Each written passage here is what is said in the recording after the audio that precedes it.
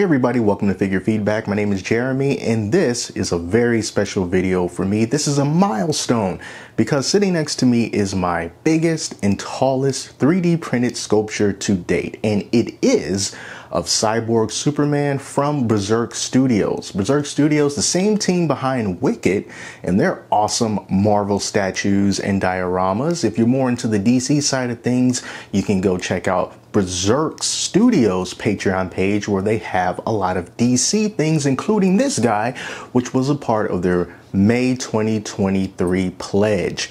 And my goodness, I'm going to give you some close some close-ups of this guy, but let me tell you a little bit more about the process of printing him and everything that I use and everything that I did. Now, the Cyborg Superman is mostly made out of resin as far as his body is concerned, but there are some FDM elements in there. Um, and I thought that was kind of fitting because we got the Cyborg Superman, we got the organic side, and then the Cyborg side. So for printing him, we got the filament side and the resin side. I thought that was uh, kind of fitting. It all worked out in the end, but I still managed to print him at 90% scale, which is why he looks so big. Even on my smaller printer, the Anycubic Photon Mono 4K, because the parts that he came with were small enough to fit on that plate even at 90% scale. But that also meant in order to fit on the base that the base also needed to be at 90% scale as well.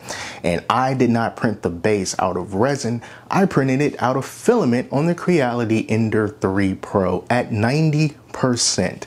And this also came with some different pieces. So everything is not all the way glued in yet, but I can tell you that at the very bottom of this base, it was very nice and smooth, this triangular shape, kind of like Superman's chest symbol. And then I also had to print this Rocky sculpture, which took the longest time to print at 90% scale. It took about 36 hours to print that. And then when that was done, I had to print out this rocky piece right here that Superman's uh, leg is currently attached to. And that didn't take as long, but it was still another part that I had to print.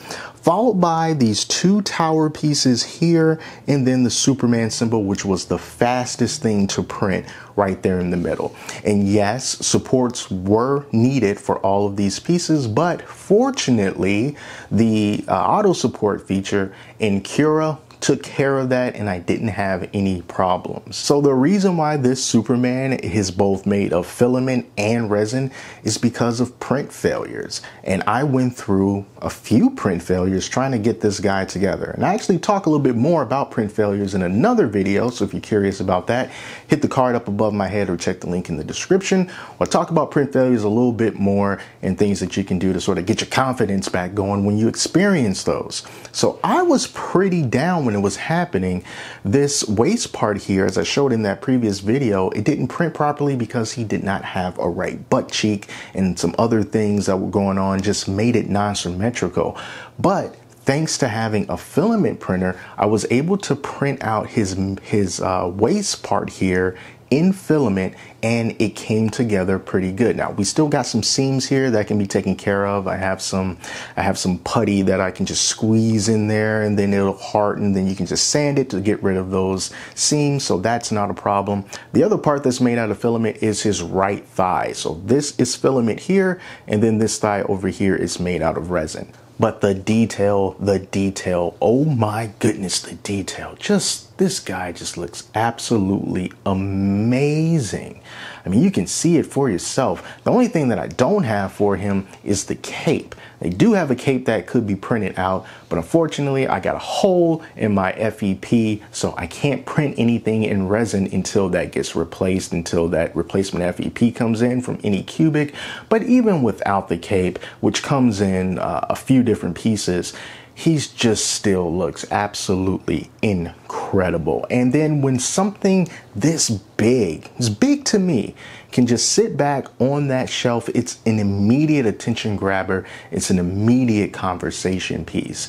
And I think that it just shows that although it's nice to have a big resin 3D printer in order to make these giant, nice sculptures and figures, it's not always necessary. If you can only get a smaller printer, you can make larger figures. You just have to get them in parts. Now, how big is this? Well, I don't have a tape measure on me, so let's just use this uh, Marvel Legends Nick Fury figure. So if this guy is six inches tall, standing next to this big sculpture here, then yeah, you get an idea of how much space this guy's going to take up. And I'm very happy and very proud to have been able to print something this massive on my 3D printers and put it up on my display. It is the largest sculpture that I have. So I hope you guys enjoyed taking a look at this awesome cyborg Superman and I encourage you to print a big figure for yourself. It's possible even on small printers so you can definitely get it done and you will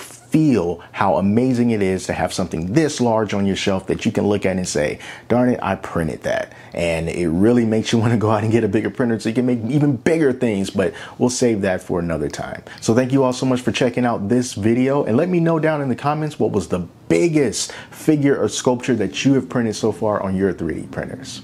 And if you want to see more videos like this, be sure to subscribe because I'll always have more coming. So until then, take care of yourselves and I'll talk to you next time.